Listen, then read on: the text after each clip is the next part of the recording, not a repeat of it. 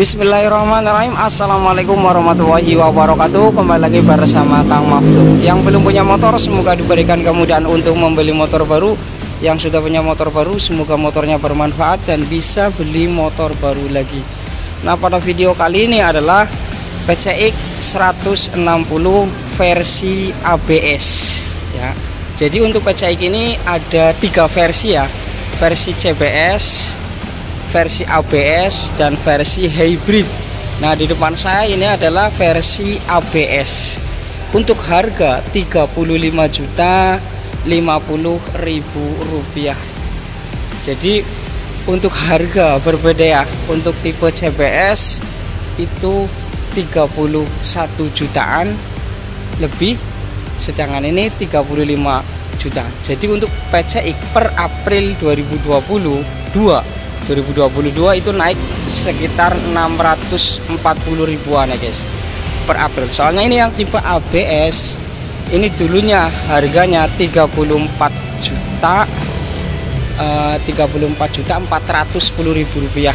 Jadi naik 640 ribu rupiah untuk tipe ABS ini.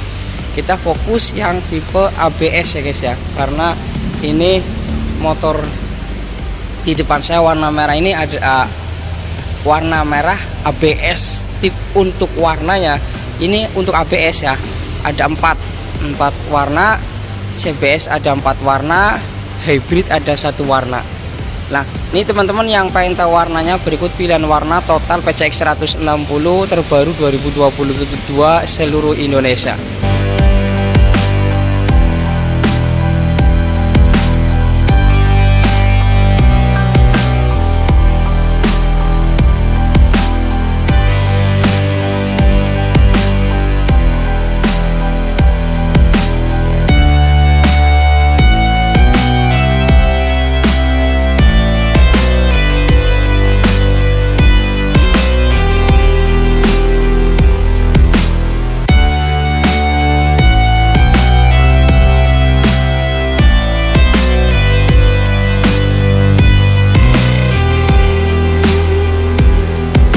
Nah selanjutnya untuk mesin.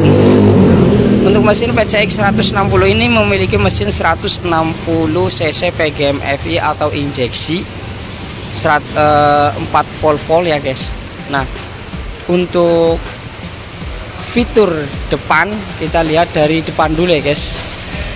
Nah untuk mesin tadi 160 cc PGM FI Nah depannya seperti ini kombinasi antara warna merah dop semua ya guys di sininya visornya warnanya hitam gede banget warna hitam. Nah di sini yang kedua adalah lampu hazard. Lampu hazard di sini ada DRL nya dan DRL nya ini sudah menggunakan lampu LED ya tentunya dengan harga yang 35 juta 50 ribu rupiah. Nah seperti ini kondisi ketika uh, lampu dinyalakan. Kita lihat dari belakang juga seperti ini ketika dinyalakan. Nah ini lampu hazard juga ketika dinyalakan seperti ini lampunya sebetulnya sudah LED semua. Nah kita lihat juga di speedometer yang kita nyalakan. Nah digital digital panel meter semuanya komplit. Informasinya di sini ada jam ada trip A trip B average lampu hazard. Nah di sini ada ABS tulisan ABS nah idling stop system semuanya komplit di PCX 160 Nah, selanjutnya PCX juga sudah dilengkapi dengan tempat power charger. Seperti sini tidak perlu adaptor langsung dicas aja. Untuk USB-nya langsung ngecas langsung posisi seperti ini ya jalan ya. Dalam arti kalau ngecas posisinya jalan. Ini posisi lagi dipanaskan ya guys ya. Supaya oli itu berputar pada komponen-komponen mesinnya. Kita panaskan mesinnya seperti ini dulu. Nah selanjutnya kita lihat ke bodi dulu ya guys nah bodinya seperti ini dari dari ujung kita matikan dulu. Nah. Nah untuk warna merah ini dari ujung nih seperti ini merahnya merah dop di sininya hitam kasar ya hitam kasar. Ini merah dop semua. Ini lakukan lekukannya seperti ini. Keren banget. Nah di sininya hitam dop. Nah di sini bisa tempat eh, pakai variasi. Untuk variasi nanti linknya ada di bawah ya guys ya. Untuk linknya.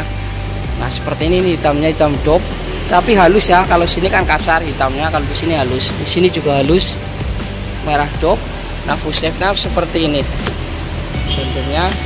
Nah ini seperti ini tekuk-tekukannya. Seperti ini. Nah di sini PCX emblem warna emas ya. Berbeda dengan yang tipe CBS kalau CBS warnanya krum.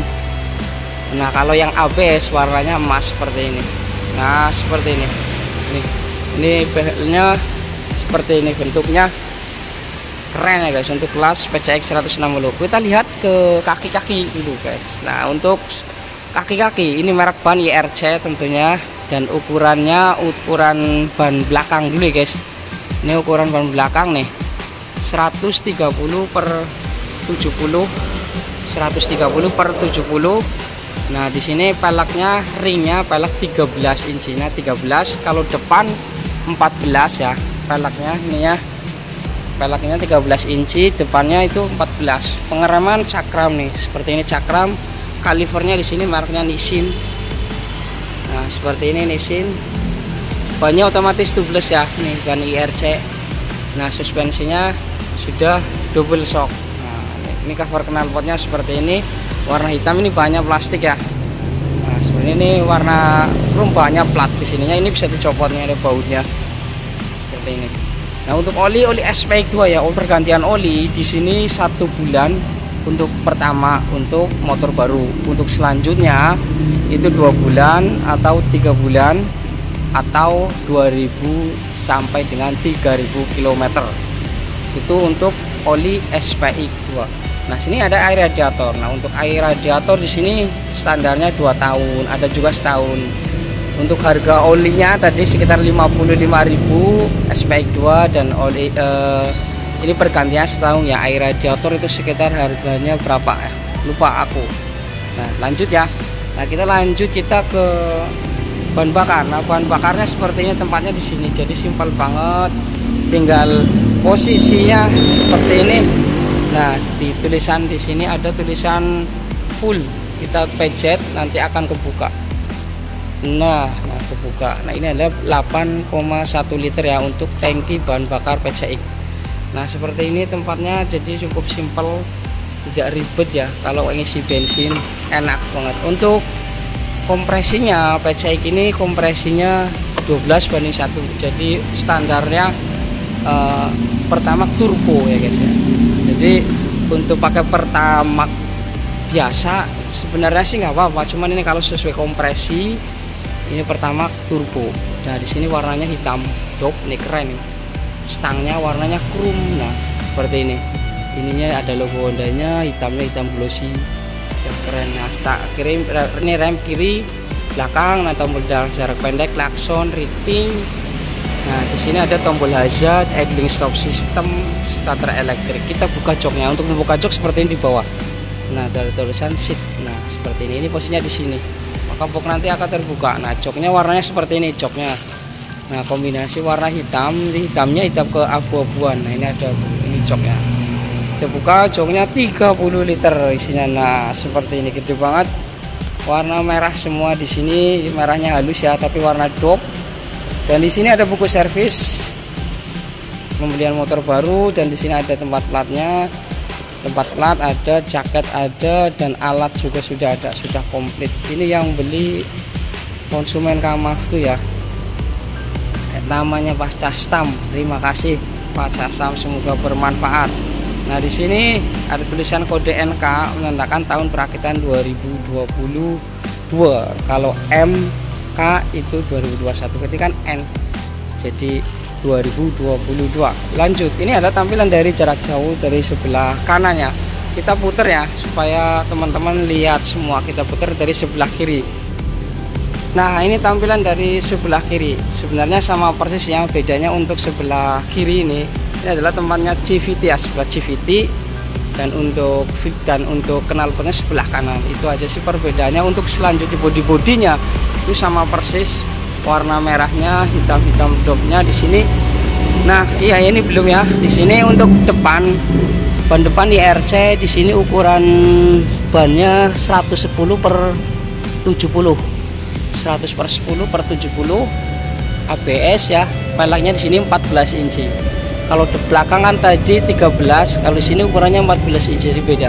Nah ciri-ciri ABS seperti ini nih guys. Jadi ada sensornya seperti ini jadi tidak untuk jarak jauh atau di mana untuk musim hujan untuk pengereman mendadak jadi tidak langsung gelincir.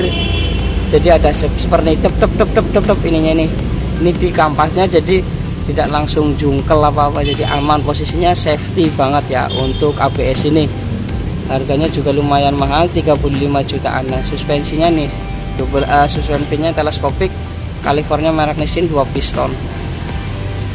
Merek apa nih RC seperti ini ABS kalau CBS ini juga tipe ABS jadi untuk berat ya. Jadi untuk beratnya di sini beratnya 131 kg nah, berat 130 kg dengan berbeda dengan Vario 160 yang di sana itu 117 yang ABS ya ini 131 jadi lebih berat Honda PCX jadi gayanya mewah. Cocok lah untuk orang Indonesia semoga bermanfaat. Assalamualaikum warahmatullahi wabarakatuh